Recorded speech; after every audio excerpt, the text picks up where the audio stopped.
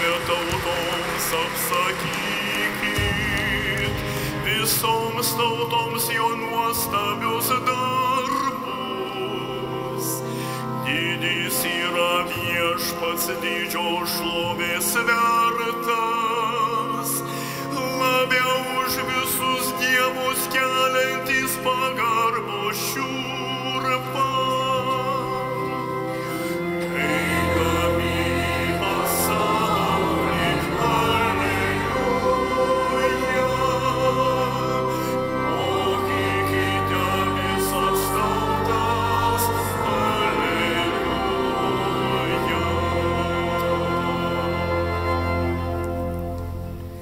Vardan Dievo tėvo ir sunaus ir šventosios dvasios. Ramybė jums. Sveikinu visus susirinkusius šį sekmadienį, šeštąjį Velykų sekmadienį. Viešpaties prisikėlimas vėl mus džiugina ir suartina. Ir tikrai džiaugiuosi šiandieną visus pasveikindamas. Ir žinoma, šis sekmadienis yra vėl mūsų didelė šventė ir džiaugiamės pirmiausiai, žinoma, vyskupo Jono padėka. Ne tik, kad, kad jį už jį, bet už jo kunigystę, už jo liudijimą, už jo tikėjimą, už jo drąsą, už jo uolumą ir, manyčiau, daug kitų gražių dalykų, kurių galime pasakyti, bet paskui, kai viskupas Jonas nemėgsta pagirų ir visa kita, tai susilaikysime. tai iš tikrųjų Meldžiamės už Jūs, viskupė Jonai, šiandieną ir džiaugiamės, kad esate mūsų viskupijoje ir, žinoma, visus noriu pasveikinti, kurie šiandien atvykote kartu pirmiausiai jungtis į bendrą maldą.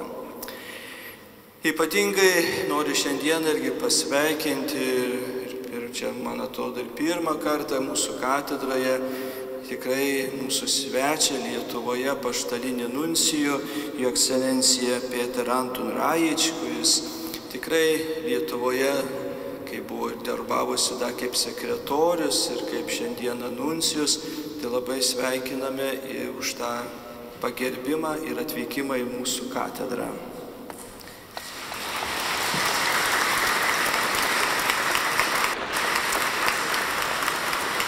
Taip pat sveikinu ir tikrai jį atlydėjusi, tai yra patarėjas, tai yra kunigas Davun Čiogong, tai yra labai gražus iš Pietų Korejos ir labai gražus vardo reikšmė, labai yra draugiškas. Pat ką reiškia šitas žodis, vardas jo ir bendrai sudėjus, tai reiškia draugiškas. Tai vad, kokia yra graži šio kunigo vat, asmenyje ši nešiojantis šis, šis, šį vardą.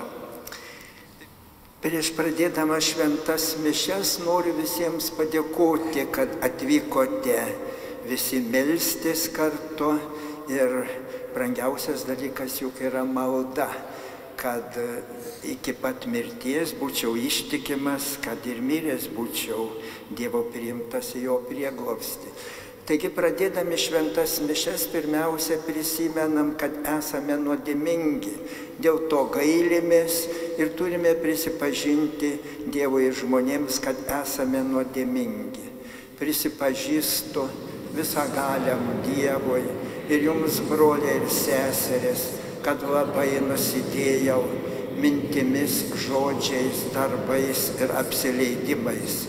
Esu kaltas, esu kaltas, esu labai kaltas. Todėl prašau švenčiausią mergelę Mariją, visus angelus ir šventuosius ir jūs, broliai ir seseris, melsti už mane viešpati Dievą. te pasigaili mūsų visagalis Dievas ir atleidęs mums kaltes, te nuveda mus į amžiną į gyvenimą. Brangus broliai ir seserys Kristuje, man iš ties malonu būti su jumis šiandien čia, Panevežio katedroje ir koncelebruoti šventasias mišas kartu su kunigais susibūrusiais prie šio altoriaus. Ypatingi sveikinimai skiriami jūsų vis, viskupui emeritui Jonui Kauneckui, kuris vadovauja šią mišių aukai ir kuniga Česlova Degutė, kurie šiandien švenčia savo 45-ąją kunigystės metinių sukaktį. Nuo tada, kai būtent šią dieną 1977 metais buvo pašventinti kunigais. Širdingi sveikinimai jūsų viskupui Linui Vodopianovui, kuram dėkoju už jo malonų kvietimą dalyvauti šiuose šventosiuose mišiuose tokia džiuga proga. Taip pat šilčiausiai sveikinu visus vienuolus ir pašvestojo gyvenimo narus, esančius čia, bei visus jūs, brangus broliai ir seserys Kristuje, kurie šiandien atvykote į katedrą. Kaip tikėjimo šeima, mes aukojame savo padėkos maldas Dievui už jo galestingumą ir daugybę malonių, kurias jis suteikė viskupui Jonui ir bažnyčiai Lietuvoje. Ši viskupo sukaktis sutampa su 50-uoju Lietuvos katalikų bažnyčios kronikos jubiliejumi, o juk viskupas Jonas buvo vienas iš jos pagrindinių veikėjų. Daugelis iš jūsų, kurie esate vyresni, patvirtinsite, kad 1970-ieji buvo išties sunkus metai bažnyčiai okupuotai sovietų. Bažnyčia buvo persekojama už jos ištikimybę Kristui ir Petro sostui Romoje. Tikintieji buvo diskriminuojami dėl jų prigimtinės teisės laisvai reikšti savo religiją, net jei tavo tai buvo garantuota konstitucijoje. Tais laikais komunistų režimas naudojo daugybę represijų prieš tikinčiuosius, tiek jaunus, tiek senus, net prieš mokinius, kad jie atsisakyti tikėjimo ir nustotų lankyti bažnyčią. Tokiems dalykams buvo sunku atsilaikyti ir jiems pasipriešinti, ypač tiems, kurie norėjo būti kunigais. Viskupas Jonas savo kailiu tai patyrė savo jaunystėje, kai buvo priverstas laukti daug metų, kol sovietinė valdžia davė leidimą įstoti į seminariją ir ruoštis kunigystei. Tačiau, nepaisant visų režimo persekojimų, viskupas Jonas liko ištikimas savo troškimui sekti Kristų ir tapti kunigu. Po 23 metų puikos kunigiškos tarnystės jis buvo įvertintas tikamu viskupystei ir šventojo popiežiaus Jono Pauliaus antrojo buvo paskirtas pirmiausia telšių viskupijos auxiliaru, o po to Panevežio viskupijos vyskupu. Šiandien galėtume klausti savęs, kas yra tai, kas paskatina jauną, gabų žmogų atsisakyti pasaulio, palikti viską ir tapti kunigu bei sekti Kristų viešpatį? Dalį atsakymo galime rasti šios dienos Evangelijos skaitinyje. Šiandien girdėjome Jėzų sakant, jei kas mane myli, laikysis mano žodžio ir mano tėvas jį mylės. Mes pas jį ateisime ir apsigyvensime. Iš šių žodžių galime iš karto suprasti didžiulį Dievo troškimą būti vienybėje su žmonija. Dievas amžių amžiais ieškojo vyrų ir moterų, tautų ir pranašų, karalių ir kitų valdovų, su kuriais jis galėtų būti artimoje vienybėje. Galiausiai laiku pilnatvėje jis rado paprastą jauną mergaitę, vardu Marija iš Nazareto, kuri atvėrė savo širdį Dievui, priėmė jo kvietimą tapti Dievo motina ir taip Dievas suvienijo žmoniją su savimi amžinai. Po daugelio amžių šventasis Tomas Akvinietis meilės esmę apibrėžė šitaip. Tai troškimas būti suvienytų su mylimu asmeniu. Dievas yra meilė, kaip moko šventasis evangelistas Jonas. Meilė tai ats aistringas troškimas būti vienybėje su žmonija. Kiekvieno kunigo pašaukimo pradžia yra Dievo meilės patyrimas. Galėtume sakyti, jog troškimas tapti katalikų kunigo gimsta iš Dievo meilės, nes tik Dievas gali paprasti žmogaus širdies galimybės kad ji galėtų apkabinti sielas su švelnia ir skaiščia Jėzaus, amžinojo ir aukščiausiojo kunigo meilė. Vien Dievas gali užkarjauti žmogaus širdį tokiu švelniu ir atleidžiančiu balsu. Vien Dievas gali pripildyti žmogaus širdį savimi pačiu savo nuostabiają širdimi. Vien Dievas gali įkvepti jauną žmogų atsisakyti šeimos, karjeros ir pasaulio malonumų ir priimti paprastumo gyvenimą nuolatinį įvairių dalykų, dalykų atsisakymą, pasiaukojimą ir net persekiojimus. Vien Dievas gali pažadinti jauno žmogaus širdyje troškimą tarnauti jam, tarnaujant jo ištikimiesiems, gyventi jam, gyvenant dėl kitų, mirti savo pačiam, kad kiti galėtų turėti malonės gyvenimą ir kad tikintieji bei visa tauta galėtų aukti tiesos kelyje, laisvėje, tvirtoje, taikoje ir klestėjime.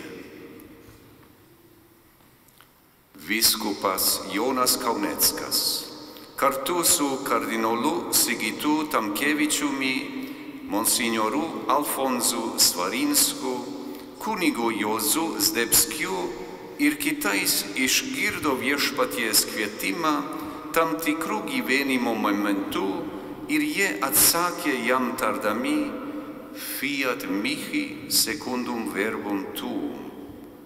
Te būna man, kaip tu pasakėjai. Ir jie leidosi būti šventosios dvasios vedami į kunigystę. Viešpaties Jėzaus šiandienos Evangelijoje sako, godėjas šventoji dvasia, kurią mano vardu tėvas atsiūs, mokys jūs visko ir viską primins, ką jums sakiau. Šiandien Šis jubiliejaus šventimas mums primena, kiek daug šventosios dvasios yra bažnyčioje nuo pat Jėzus laikų iki šiandienos ir iki laikų pabaigos. Šventoji dvasia yra nuolatinė viešpaties dovana bažnyčiai. Ji primena mums viešpaties Jėzaus žodžius, kurie yra tiesos ir amžino gyvenimo žodžiai, kurių negalėtų pakeisti ar panaikinti jokia žemiška gala, ideologija ar režimas. Dievas moko mus per šventąją dvasę to, kas mums yra geriausia, tai, kas gera, šventa, sveika, teikia gyvybę ir amžinybę. Šventoji dvasia pažadina meilę mumise, tą nuolat augančią mūsų meilę artimiesiems ir teviniai. Dvasia taip pat primena mums įsikūnijusio žodžio buvimą mūsų gyvenimuose. Tai Dievo žodis, kuris gyvena tarp mūsų, kuris duoda prasme gyvenimui, moko, veda, guodžia ir daro mus panašius ir į jį, kuris yra gyvenimas. Sveikindami viskupą Joną su pirmaisiais 45 kunigystės metais ir dėkodami jam už jo ištiki, ištikimą kunigiškąją ir viskupiškąją tarnystę bažnyčioje, mes melžiame viešpaties, kad nenustotų laiminės šventosios dvasios dovanomis. Tegul šventoji viešpaties dvasia veda visus viskupus, kunigus, vienuolus ir vienuolės Lietuvoje ir įkvepia daugiau jaunų vyrų ir moterų atsiliepti į viešpaties pašaukimą tarnystei, meiliai ir tarnauti jam per visą savo gyvenimo dienas. Amen.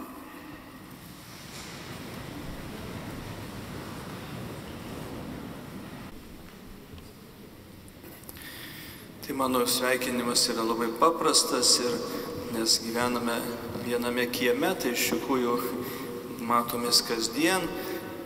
Tai tikrai yra džiugu, kad e, yra biskupas emeritas visą laiką tas, kuris lydi malda. Iš tikrųjų, va, tas ir labai svarbu ir mūsų viskupijai, ir, ir kaip ir man, nes e, be maldo, žinoma, tai darbai tada sekasi ne, tada praščiau. Tai labai ačiū Jums, ekscelencija, kad esate, kad melžiatės, kad lydite mus, pergyvenate dėl bažnyčios ir ateities ir įvairiausių įvykių, bet visą laiką kartais va tokios įvairios sukaktys, jos galbūt ne tiek kartais pačiam kaip žmogui būna, taip dėjai su, sueina tie skaičiai tokie, bet manyčiau mums irgi visiems dėl to, kad mes e, žvelgiam kaip galbūt ir į asmenį, bet matome, kaip mes tikintieji, kad vis dėlto Dievas štai pasirenka labai skirtingų ir įvairiais būdais išsirenka ir pašaukia eiti kunigystės keliu, ar ten pašvestojo gyvenimo keliu. Tai Dievas pasirenka taip, kaip vat, jisai nori. Ir tai yra iš tikrųjų pats gražiausias jo yra planas. Kas būtų pagalvojęs, kad jūs šiandieną vat, švesite ne, o štai net sulaukus 45 metus kunigystės. Tai iš tikrųjų yra vat, Dievas, jeigu numato, tai jis ir net po ilgų bandymų, po ilgiausių galbūt ten tų ryštingų vis tiek stojimų į į, į kunigų seminariją, Dievas štai šiandien duoda šitą malonę. Ir tai yra, man atrodo, irgi tas toksai, jumise vis matau tokį ištvermingumą vis dėlto.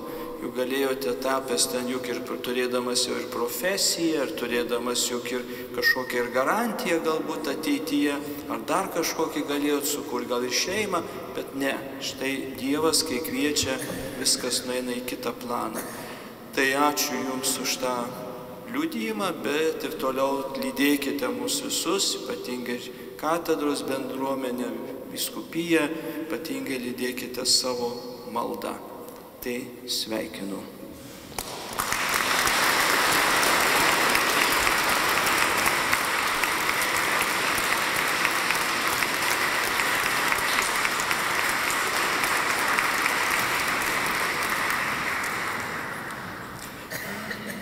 Gerbiamas viskupė Jonai, savo ir katedros parapiečių vardu sveikinu su šia 45 metų kunigystės sukaktimi. Labai džiugu, kad beveik pusė to laiko, tų metų praleidote čia, katedroje, mūsų viskupijoje ir jau kaip atlikdamas vyskupo tarnystę. Kas gali šiandien suskaičiuoti, kiek vadovaujant mišių auką buvo išmelsta reikalingų malonių, kiek teikiant sutvirtinimo sakramentą buvo suteikta šventosios dvasios dovanų. O kas suskaičiuos, kiek klausykloje atliekant tarnystę išlieta dieviškojo gailestingumo. Bet labiausiai noriu šiandien akcentuoti, kad e, didžiausia pagarba ir tokia padėka yra už tai, kad jūs rūpinatės Lietuvos ateitimi kiek daug įdėdat pastangų pagerbent partizanus, kitus laisvės kovotojus ir aktyviai dalyvaujat visuomenės gyvenime.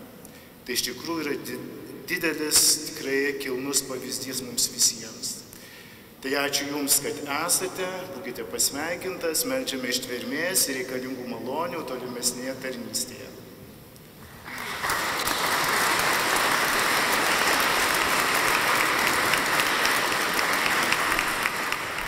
Gerbiamas mylimas viskupė Jonai, sveikinam nuo maldos už kunigus grupės, nuo procesistų ir nuo visos parapijos.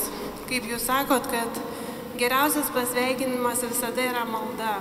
Tai aš šiandien tikiu, kad čia šiandien susirinkę žmonės ir tie, kurių čia šiandien nėra, tikrai su dėkingumu Dievui Šiandien dėkoju už Jūs, už Jūsų tarnystę, už Jūsų gyvenimo kelią, už tai, kad a, nepabijojot, kad darbininkų mažo, pjūtis didelė ar ne, ir, ir a, ištarėt taip. Tai mes dėkojam iš tikrųjų už Dievo žodį, kuris per Jūs, per Jūsų lūpas pasiekė žmonių širdis, protus, keičia gyvenimus ir visi šitie jūsų kunigiškos tarnystės metai tai yra toks gyvas liūdėjimas ir padrasinimas mums iš tikrųjų taip pat atsiliepti kiekvienam į savo pašaukimą ir drąsiai eiti tikėjimo keliu. Tai dėkojam Jums labai, sveikinam ir linkim gausių Dievo malonių ir švenčiausios mergelės Marijos globos.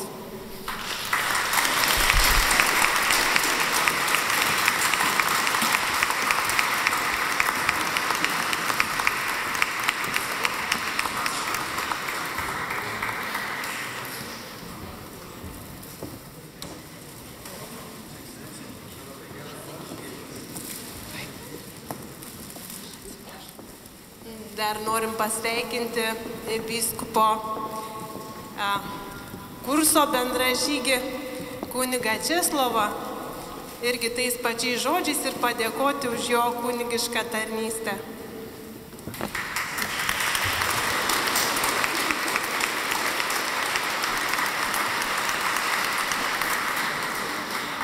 Taip pat dėkojom šiandien apaštaliniam nuncijui ir džiaugiamės, kad atvykot pas mus, tai ačiū Jums.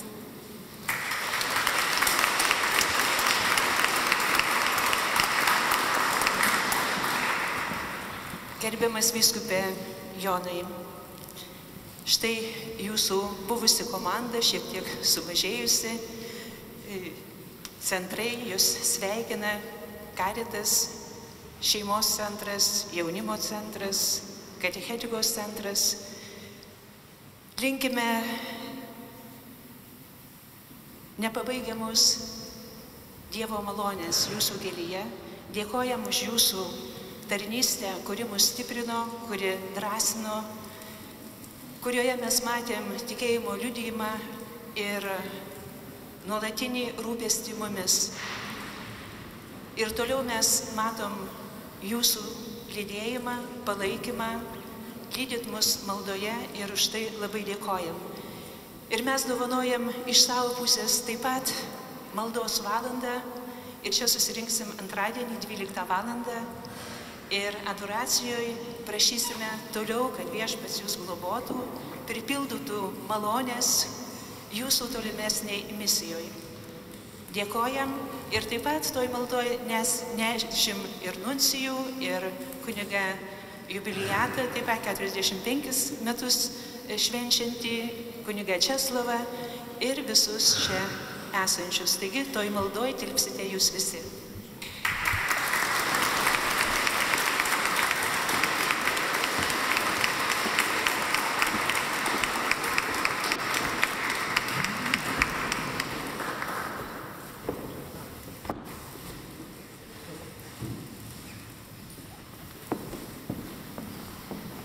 Jūsų ekscelencija Viskupai Jonai, sveikiname Jūs šią gražią progą ir linkime šviesos žygurių Panevežio viskupijai. Pagarbiai Panevežio krašto ateitininkai.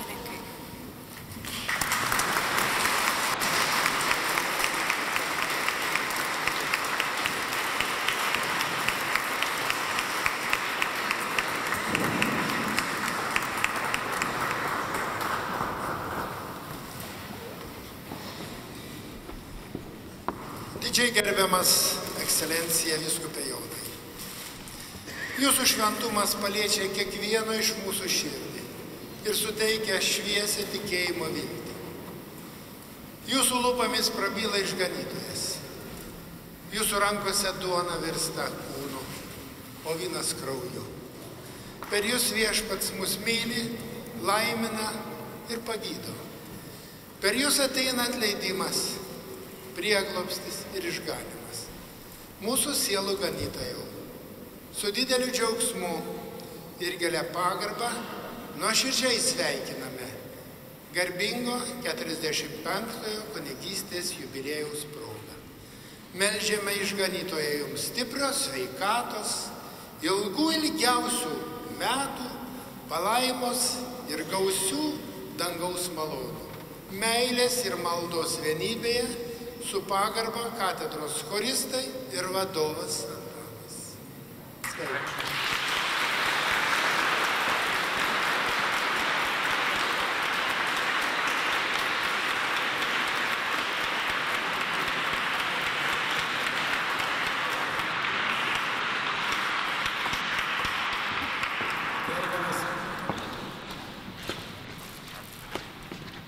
Gerbiamas ir vyskupė ir giminaitė Jonai.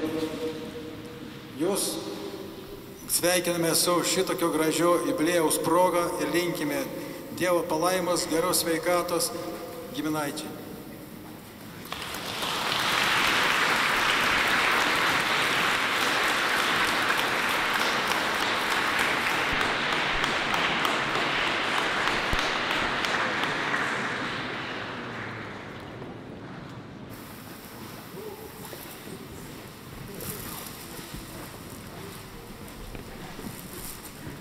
Garbė Jėzau Kristau. Linkėjimai žemaitės uostins iš telšių. Mūsų dvasis tėvų, mūsų gyvenimą vedliau. Nuostabaus jubilėjaus proga, mažo jubilėjaus aišku. E, To jubilėjaus sulauks tikimės į 75. Gal mes nesulauksim, bet mūsų vyskups mylims visada sulauks. Nes ons į toks energija šaltinis, ons yra tiek daug teikiantis jėgų ir laimės, kad ons tikrai su- sulauks labai daug dar jubiliejų. Tai va, jeigu kas nesupratot, prabuočykit.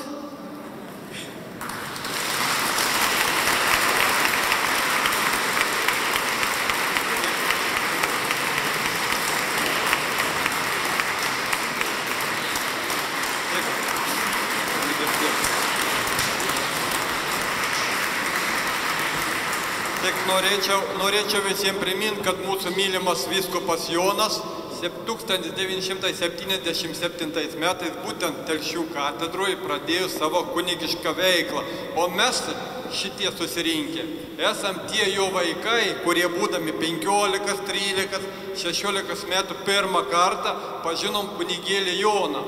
Kita vertus, aš galvoju, kad panevežė tikintieji, jūs esat žemaičiams skolingi didelį, didelį, po, didelę plokštę maldų. Žinot kodėl?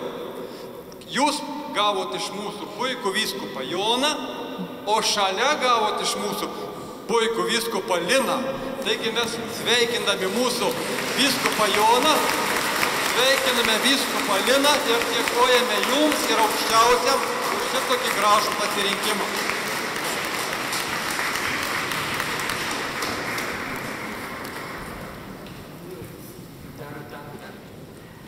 Na, mes gyvojo rožinio bendruomenė taip pat sveikinam viskupą Joną. Ir turiu pasakyti dar, kad viskupas Jonas yra rožančiaus narys. Jis yra iš 35 burelio, jis rožinio maldoje dalyvauja kiekvieną dieną su mumis jis yra. Norisi padėkoti Dievui už tai, kad, su, kad viskupas Jonas pasirinko kunigystę, kad tapo gyvo rožinio nariu, kad tapo mūsų viskupu. Ir labai norisi padėkoti ir už tai, kad kiek jūs prisidedat prie mūsų veiklos, padedat, jūsgi buvot mūsų dvasinis vadovas ir esat Panevežio miesto. Taip kad ačiū Jums už visą tai. Nu ir ką, norisi palinkėti daug ilgų viskupystės metų. Dar mažiausiai 45 kunigystės, nu paskui viskupystės tuo pačiu. Taigi mes sveikinam jūs ir linkim jum to paties.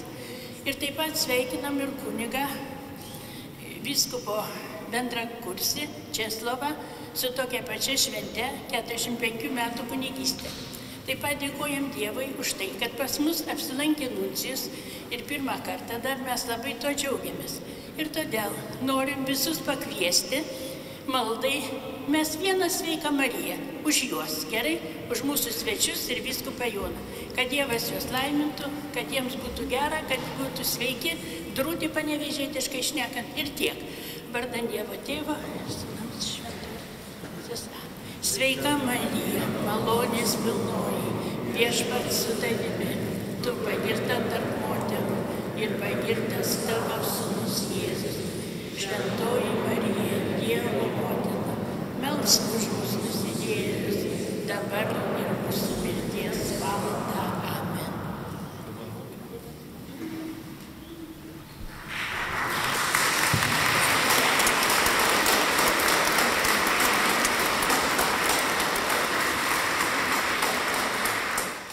Viešpat su jumis.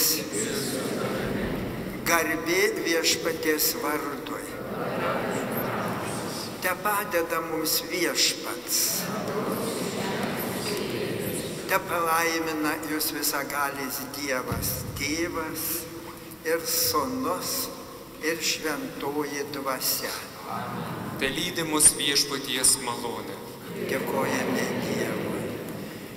Dėkodamas Jums už šiandien dalyvavimą ir maldas, noriu paprašyti, kad neužmirštumėt ir nuolat maldoje ir aš stengsiuosi Jūsų neužmiršti.